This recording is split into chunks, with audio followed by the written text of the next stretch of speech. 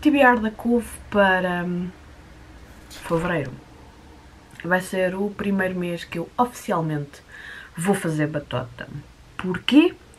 Porque há dois livros que estão aqui na couve que eu vou escolher ler este mês por culpa da, da Maratona Fairy Tales e hum, por isso mesmo eu vou ter que fazer batota, que é para não ficar com assim com uma catrafada de livros, coisa que eu já tenho, porque eu já tenho aqui uma catrafada de livros que eu gostava de ler em Fevereiro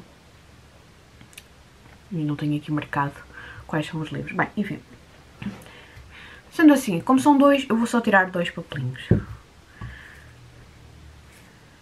E isto está mal porque eu não sei como é que fiz os papelinhos desta vez, mas eu consigo ler tudo o que está aqui. Portanto, vamos fazer assim, um e dois. Olha que giro, ainda estive a olhar para este livro ontem a pensar, eu tenho que ler isto, que eu tenho saudades de ler isto. É o Hidden Depths, da Anne Cleves, que é um livro da série da Vera Stanhope. É o pai, acho que é o terceiro. E... Oh, que fantástico! Eu não sei se consigo ler este livro, mas...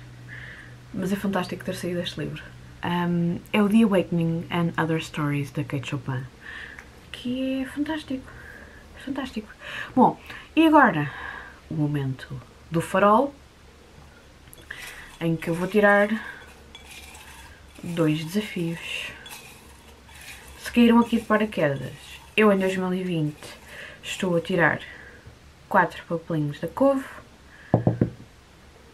e dois desafios, um, dois do farol. Primeiro desafio. Uh, lê um livro com uma personagem feminina. Yikes. Badass. O que quer que isso signifique. Isto está... Não, está exatamente de pernas para o ar. Fantástico. Uma coisa é ler uma coisa que está de pernas para o ar. Uh, e depois... Hahaha! Joker. Joker significa que posso fazer o que quiser. O que é ótimo. Porque como eu vou fazer batata este, este mês, isto sai uh, aqui que nem ginjas. O Joker basicamente é, se eu quiser não ler um livro, se eu não... Posso fazer aquilo que eu quiser. Agora vou buscar os livros que faltam aqui. Que são só dois. Um, porque eu acho que... Acho que há aqui um que dá para isto. Volto já. Então vamos começar com os livros da batota. Os livros da batota que não são estes que eu tenho na mão. Este. Okay.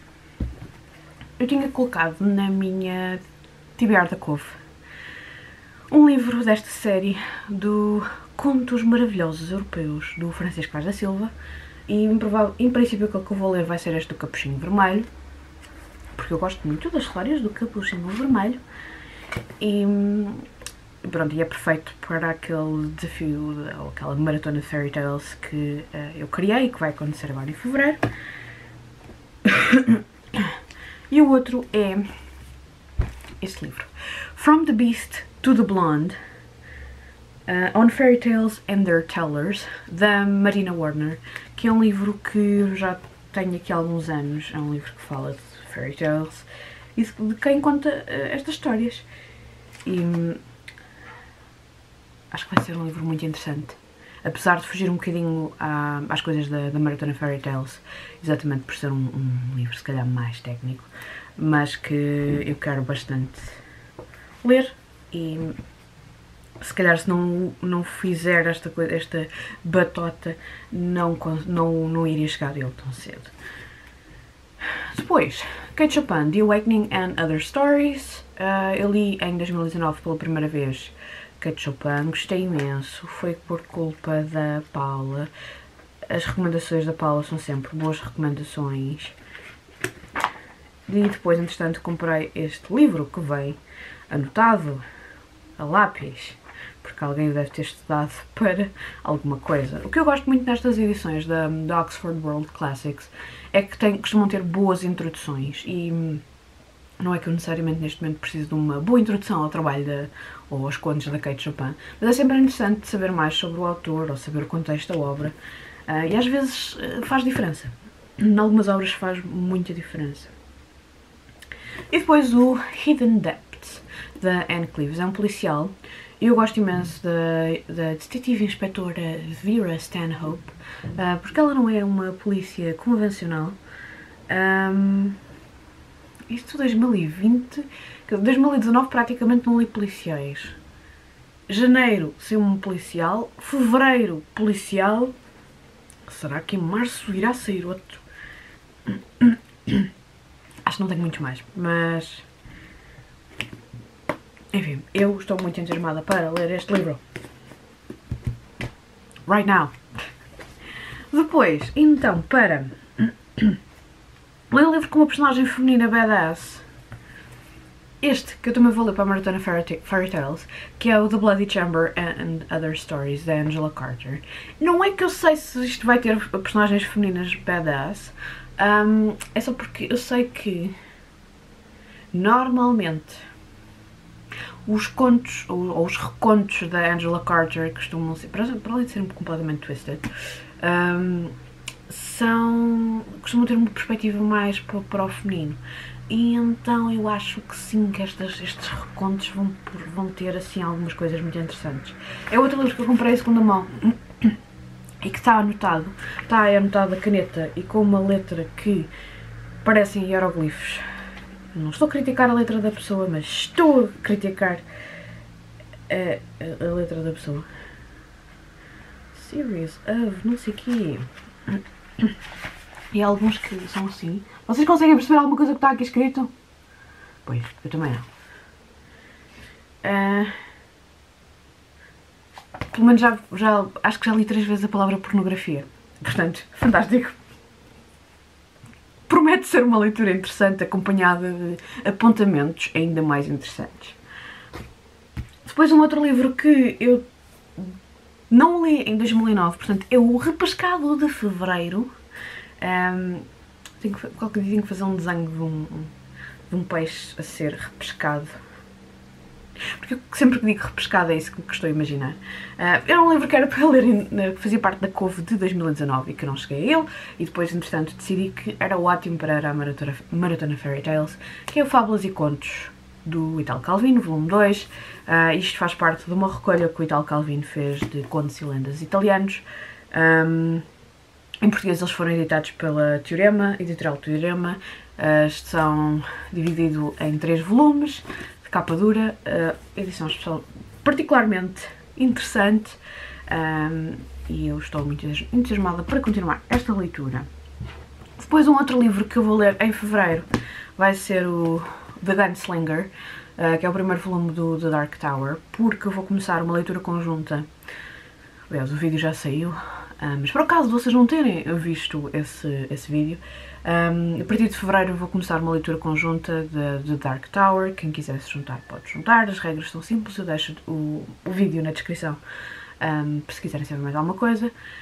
É uma série do Stephen King, é um pouco diferente da, da escrita do autor, da escrita regular, se é que ele tem alguma escrita regular, mas enfim, isso já são outras considerações que não são para aqui chamadas.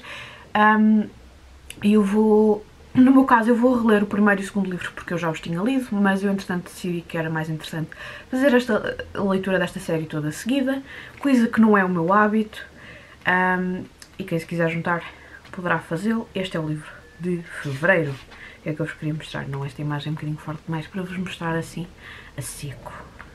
E esta também. É porque esta edição que eu tenho é uma edição espetacular que tem ilustrações a cores, mas não é as ilustrações a cores que eu vos estou a mostrar porque são um pouco violentas. Um pouco, muito. Deixa lá ver se esta aqui é melhor. Ah, pronto, aqui está. O grande propósito desta série, o Gunslinger cá em baixo, à procura da Dark Tower. E se eu vos dizer que são 8 livros só sobre isso? São 8 livros só sobre isso Mas pronto, há mais um bocadinho, há mais qualquer coisa na história. Um outro livro que também é para a maratona Fairy Tales um, é que o Uprooted da Naomi Novik, uh, que em português foi editado como O Coração Negro, saiu pela saída de emergência, uh, do qual eu tenho muita curiosidade porque é um reconto de, um, de contos tradicionais uh, ou de lendas. Uh, se for de lendas, por acaso está ali um bocadinho no limite daquilo que eu considero para a maratona Fairy Tales, mas não há problema. Eu vou fazer batota então, irei ler o livro. Também gostava de pegar no como é que se chama? The Bear and the Nightingale, da Catherine qualquer coisa, mas não sei se irei chegar a ele. De qualquer maneira, esse não tenho em formato físico, este uh, tenho e quero bastante ler. Portanto, todos estes livros que saem um bocadinho assim fora de, daquilo que está programado são, uh, obviamente, o, o, meu joker para o mês. Este mês a pilha de livros já é um bocadinho maior do que no mês anterior. Ou se calhar não. 1, 2, 3, 4, 5, 6, 7, 8. Tem mais um livro. Pronto. Em vez de serem 7, são 8.